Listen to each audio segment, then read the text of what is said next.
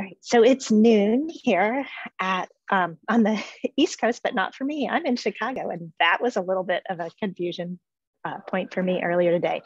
But welcome everyone. I'm Sarah Hanawald. I'm the Senior Director for the Association for Academic Leaders here at One Schoolhouse. And with me today is my colleague who is in more of a typical spot for our webinars. Liz, you want to say hi to everybody, and then I'll do a little housekeeping before we get going. Sure. Hi, everybody. I'm Liz Katz. I'm the Senior Director for um, for school. Sorry, I forgot uh, for school partnerships uh, here at One Schoolhouse, and um, I am Sarah's in Chicago. I am in the Bay Area in Northern California, and excited to be here with everybody. Well, thank you. So things are going to be a little bit different. I am going to start off with our typical housekeeping. And I also, one thing I want to say is with this webinar that's very unlike some other ones, um, Q&A is welcome along the way. We always invite Q&A, but if you throw something in the Q&A along the way, as I'm sharing some stuff from NBOA, happy to address that. And then also, this is our last webinar for a while. We will be back with you in April with our um, full sneak peek of the Association for Academic Leaders. And uh, between now and then, we're going to be doing lots of plotting and planning. So with no further ado, let me share my screen. And live from NBOA, I'm at an in-person conference. Super excited to be here and it's been a great experience. As soon as we're done, I'm cutting out for the airport to head back home. So excited about that.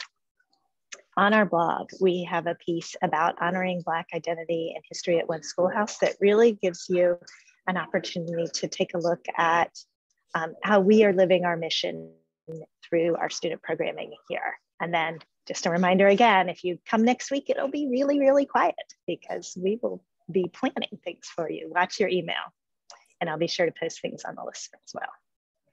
Um, and then just a reminder that our 22-23 student course catalog is open and registrations are coming in. Liz, do you want to add a little bit about that while I stop sharing and uh, pull my notes up? Sure. Um, so uh, those of you who know our student program well know that we open our catalog on July 1st to ring in the, pardon me, January 1st to ring in the new year. Um, and we know that this is the season when lots of folks are doing uh, course selection and registration. So um, we hope you'll take a look at our catalog. We hope you'll reach out to us. You're welcome to reach out to me or to Beta Eaton, who's our Director of Student Support with any questions. Um, if you are a consortium member, we have our Spring Advisory Council coming up tomorrow. Um, we're going to spend some time talking about our language sequences and um, some changes and adjustments that we've made there that we think are really going to be um, important steps in meeting students' needs. We've just seen explosive growth in those language courses. And so we're looking forward to spending a little bit of time talking about them tomorrow. So I hope you'll join us. Great. Thank you so much. And as I shared, I'm here at the NBOA annual conference, and there are just a few themes that have really been coming through. First of all, folks are delighted to be back it together in person. And like I said, I have my mask right here. I'm far, far away from, I mean, it's, I'm in a corridor with nobody in it. So, um, but we've got our wristbands that indicate we're vaccinated. We've got little stickers on our badges that indicate our comfort level, you know, open for a hug, good for the elbow bump, or um, you know, stay further away. People are just really respecting that. And uh, it's, it's nice to see it really working. So shout out to NBOA there. I would also be really remiss if I sorry. didn't. Can we just pause? And um, for folks who don't know what NBOA is, could you just explain um, the very fun and interesting group of people you've been hanging out with for a few days? Absolutely. These are the folks who power the finances of independent schools. And so they are the business officers, the controllers, the director of auxiliary programs, and HR professionals. So the, the people who make the finances work and make it possible for us to live our mission. And there's an important partnership that I was about to mention, which is that One Schoolhouse and NBOA together produce the online learning for NBO members. So come uh, courses such as the art and business of financial aid, essentials of the business office. There are courses that go into great detail about things that a lot of us might find a little bit scary, like tax implications, but are really important for our schools. And these are the folks who make it happen. So thank you, Liz, for saying that. Um, and then also, our leader, Brad Rathgeber, head of school and CEO, won the Sarah Daigneault Award for Innovation here at NBOA. And so yesterday I was able to attend the luncheon. I took some photographs with my little iPhone, and NBOA took some really good professional photographs. So we're going to post those on our website, not the ones that I took, but it was really just a real honor to see him win that award and give his acceptance speech. So it was a real pleasure. So shout out, Brad. Congratulations. Good. Um, really a nice rec uh, recognition of his many years of leadership in this area. So a couple um, of sorry, I was gonna, yeah, I was gonna go say that's exactly what I was gonna say. Like tell us a couple things you learned. Like what was really interesting and exciting for you? Yeah, so some themes that have emerged here. One is really around hiring. And on two fronts, many sessions on hiring. One is on dealing with the fact that um, schools are hiring more people than ever before. Folks are, you know, in independent schools are doing some of the things that other other industries are seeing too, right? Lots of people leaving, lots of people moving, um, how to hire, hire. And then the other is about how to create organizations that are more supportive and equitable and have a justice lens in hiring. So really rethinking hiring in terms of not looking for who has done this before somewhere similar, but who has the competencies and the capacity to make an impact here at our organization in a way that's mission aligned. And I've just really been um, impressed by the HR folks at NBOA who have led the programming and then the schools who have shared their efforts and, and how that's coming together. So um, if you have at your school someone who registered for the conference, ask them how it went. And if they attended it digitally, there were 700 people on site. And then they also had a digital registration option. So you may want to check in with someone at your school who has registered that way and ask them about some of the insights they gained. Another big topic here are legal sessions. And I just left the session that I promised the listserv that I would attend and really got some great insights there found out that in the last five years, the Department of Justice has been increasingly interested in nonprofits. The kinds of things that are now discoverable are receipts from lunches or dinners. If the heads of school regularly have, say, a monthly dinner in a certain community, what did they talk about? If they're meeting via Zoom, were those recorded? Well, that is now discoverable if there's an antitrust lawsuit. And uh, one of the interesting case studies that just appeared was that schools that agree not to take on a family that still has a debt to another independent school and they all agree about that together, that is an act of collusion and could potentially really expose them to harm.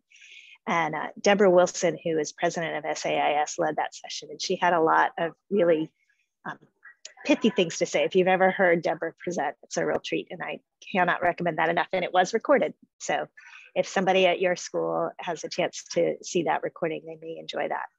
Um, some other recommendations, as I mentioned to the listserv, definitely uh, desirable not to um, share specific financial information in a way that looks like you're trying to cooperate with other schools and be in alignment. You don't even want a whiff of that and uh, I'm going to quote Deborah here. She said, It is probably cheaper to have an accident in the parking lot than it is to defend yourself against one of these suits. So, that being said, Liz, I know that was a lot.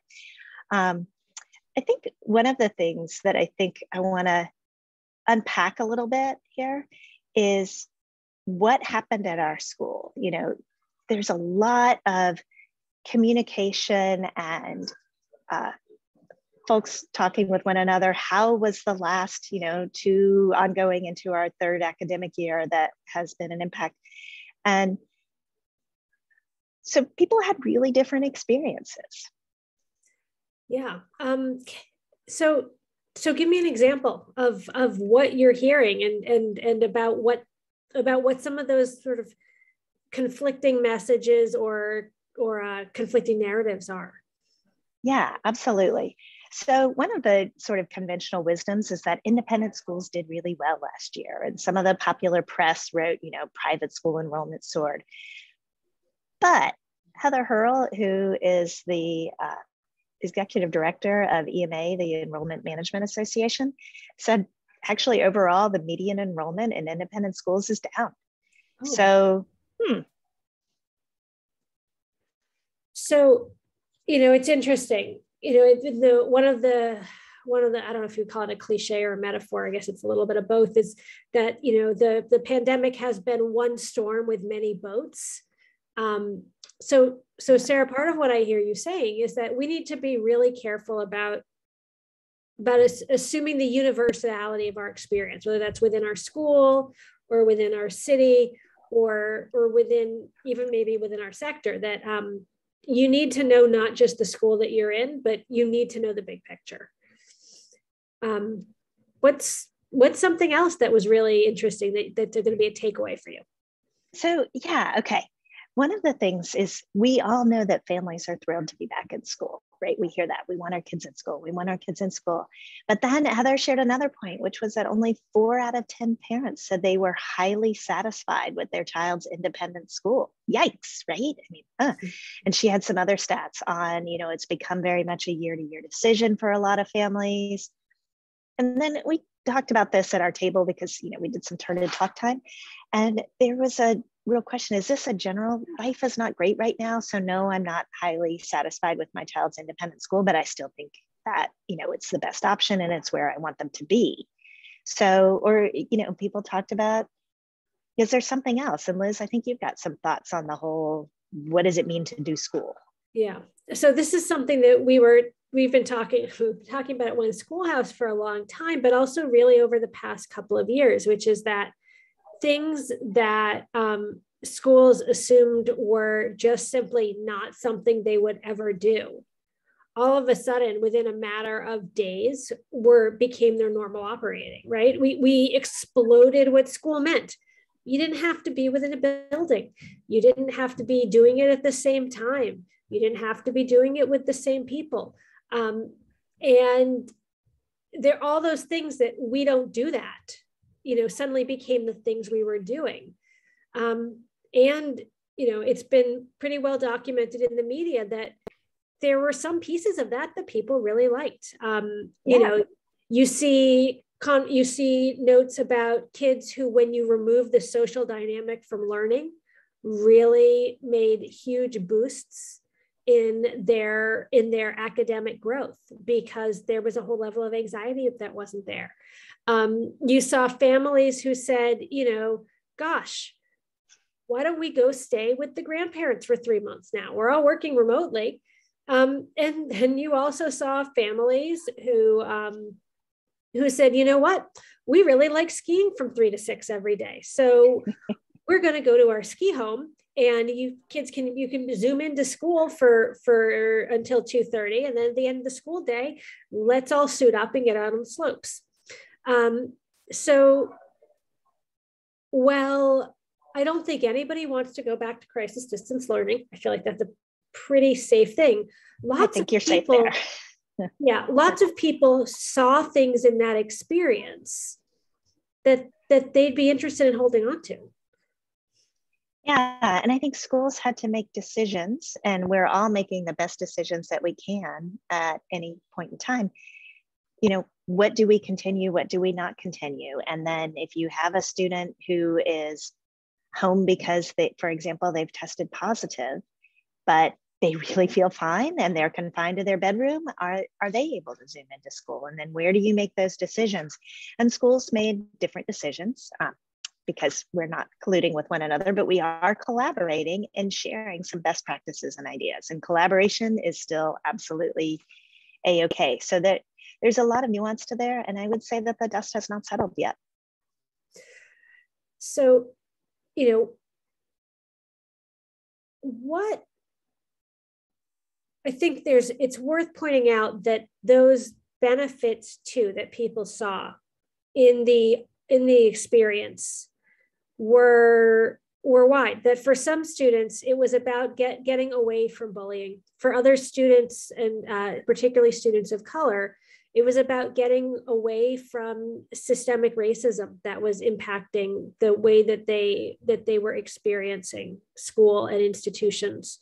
Um, so some families it was an expression of privilege right? That they could go away to their vacation house. Um, and and i think that we have to be very aware about the ways about the ways in which we um, we make those choices and adapt them so that we are as schools we're making equitable choices.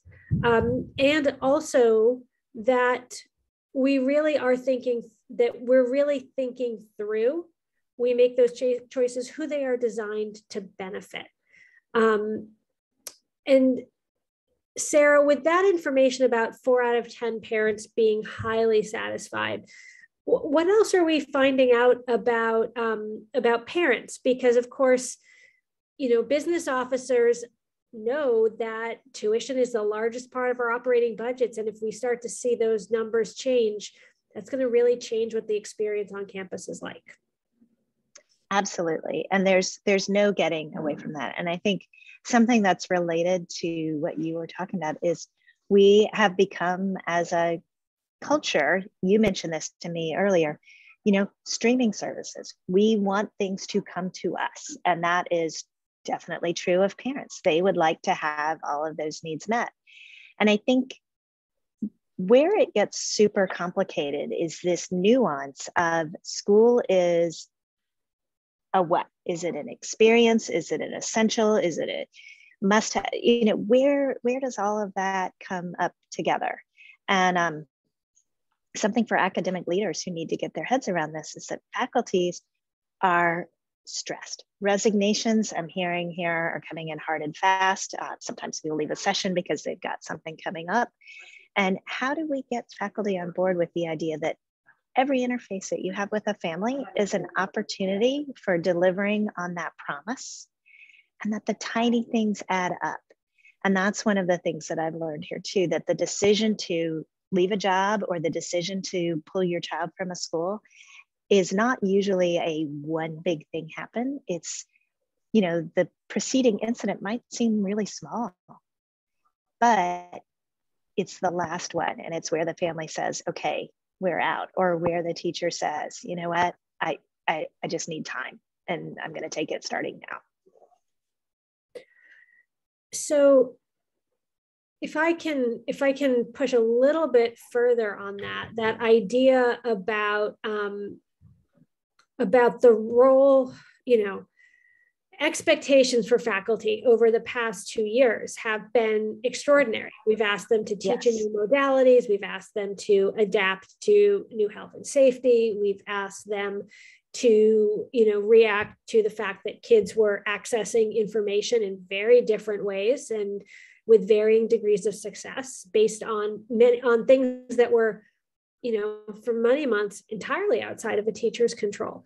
Um, but what i hear you saying is that there's also that there's another thing that that schools need to ask faculty to be mindful of as well and that's that um, you know, I, I did enrollment management for a number of years, and enrollment management officers are fond of saying that admissions is everyone's business, um, mm-hmm. and that the corollary to that is retention. That is may have come up here a couple of times. yeah, and that retent more importantly, retention is everyone's business. Um, but thinking about about this, you know, business officers have a unique perspective on the school as an ecosystem. What are they seeing? About um, about what's happening about about teachers and that that for our audience of academic leaders what are things that we can be learning from business officers about things like hiring and about things like expectations? Well so i'm going to tell you that they're worried. And i'm going to tell you that they are looking to balance the idea that um, salary expectations for our really talented faculty are, are high right? Wages are going up, and yet they're stressed about tuition. And so they are really counting on academic leaders to provide something that is significantly valuable to families. And what that means and what that looks like is going to vary from school to school, right? There are schools that are um, steeped in a faith based tradition, and that is part of their mission and part of what they're delivering. There are schools that are absolutely committed to. Um, I, I, hate to call anything out because then it's like, who are you leaving out? So I'm going to pick Montessori because that's a really obvious one sometimes, right? So that they are doing something that is really unique and separate from what other schools are doing. And so that is an empowering them to say, look, you're getting something different. And that's what we're providing, and we're doing it really well. And so, alignment to mission, reminding everybody about your alignment to mission regularly, not just checking in at the end of the year, like, hey, did you have a good year? And here's your report card, but throughout the year, showcasing opportunities to, to show that you're living your mission and that you're fulfilling that promise that you made. You know, it's interesting when you think about hiring. We said just a few minutes ago that, you know, we really exploded the idea of what school could look like. Um, you know, not not because we wanted to, because we had to. Um, and we didn't just do that for our students and their families, right? We did that for our teachers. Um, and all of a sudden, the idea that, you know, if you had a child who was homesick, maybe you didn't have to call in sick for the day. Um, you know that that that idea about flexibility. And again nobody wants to go back to crisis distance learning but what it meant to not have a commute every day or to be able to be flexible around childcare or um, or to be able to be a caretaker for somebody in your family. Um, teachers saw those possibilities too. Um, and so part of it sounds like what we need to think about is also academic leaders deciding what degree of flexibility is sustainable for their community. Um, you know, and let's be honest, there are differences from job to job. This is not the same for a, a high school English teacher as it is for a kindergarten teacher. Um, it's different from a specialist to a classroom teacher. There, there's certainly no one size fits all answer to this question, but for a long time, schools were student centered on the backs of their faculty and their faculty's quality of life. I mean, you know, Sarah, you and I can remember days when we were at school, you know, whether it was producing the literary magazine or tournament week, when we were at school till seven or eight multiple nights in a row, right? Um, oh, I got boarding school time. I can talk to you oh, about uh, Thursday night putting the freshmen to bed and writing my weekly faculty newsletter while I was uh, monitoring that they really went to bed. right. 3 a.m. knock on the door when somebody throws up, right? Like we've all been yep. there. Um, so, but but that's just not tenable anymore. Um, and it also it's frequently unjust and inequitable um, in how it's divided in schools and how it falls, especially sometimes on faculty of color, on young faculty, on female faculty, on unmarried faculty. You know, th- these these expectations aren't parceled out or experienced evenly. Um, and at moments like this, when the community is less well, teachers feel vulnerable in different ways, right? And mm-hmm. there were all these things that educators never, a kind of flexibility educators never imagined they would have, that all of a sudden was there for a little bit. Um, that's complicated. And we don't like lose something that we we don't like to lose something that we had for a little while if there was something good about it. And you know, as Brad says, there are no silver linings to the pandemic, but there are lessons learned. Yeah. Um, so did you did you learn anything that didn't feel quite so heavy? yes. we, let's talk about some of those. Um, so in one session, there was a time to share things that schools are keeping. And one of the things that we love talking about were tents turning into permanent installations to increase outdoor times for everybody on campus, whether it's meals or class time, but just, hey, let's go outdoors more. Yeah, uh, loved that. Yeah, because you know what? I mean, there's so much research that simply being outside, you know, I mean, you don't even have to do anything. Simply natural light is good for us. Um, what else? Yes, exactly. Um, so let's talk tech for a second. You know, that's near and dear to my heart. Everybody values their tech team um, more than they ever time. did before. It's about and time. Yes, there is. And there's some nice in-depth talk about how do we help faculty and staff keep these newly acquired tech skills sharp. And I really love that. Lots of ideas there. Yeah, um, oh, that's perfect. Yeah. Yeah. And then another one, one school shared that they decided that pajamas and sweatpants are now appropriate school wear, not just for students, but maybe for adults too. Um, school appropriate, but they said, hmm, this is another person started laughing at that table and said, nope, we are thrilled to be back in uniform and professional dress. And so, you know, that whole you do you and you be your school and the best version of your school that you can be, that's that was a, a really important message. And I'm not gonna lie, I'm actually out here in a hallway in a couple of minutes, time for a question or two, but uh, it's gonna be flooded with people. I'm gonna have to put my mask back on and go down to where my Uber is. So um, let's see if there's a question here. Um, ah, question about money. So sometimes people are thinking, gosh, you know, we um, we did the PPP part and we saved a lot of money, and hopefully there's a whole bunch. And the truth is, there was a lot of money spent that is not recoverable, and it wasn't necessarily spent on things. You know, schools that bought a lot of tests, schools that had to upgrade to a different kind of filter system. Um, sometimes the the payoff and the um, blanking on the word, but uh, the big money that schools have that's recoup, invested. Yeah, you can't recoup yes. that. So, so right, it just it is what it is. They had to be spent, and the expenses were high, and uh, it's not money we're going to get back. So um, that doesn't mean I do hope that uh, PD budgets will come forth because I will say that there is really unanimous, and I see a door opening down the way, so I'm really going to put my mask on in just a second. Um, that's you know this is really live, folks. Um, but this idea that you know professional learning when we go and we connect with each other in person, we at One Schoolhouse really believe in online learning, but it's nice to get out and to collaborate around a table as well. All right. Well, Sarah, I, I can hear the crowds approaching. Thank you for um, for reporting live from the road. This was really fun. Thank you to everybody who joined us.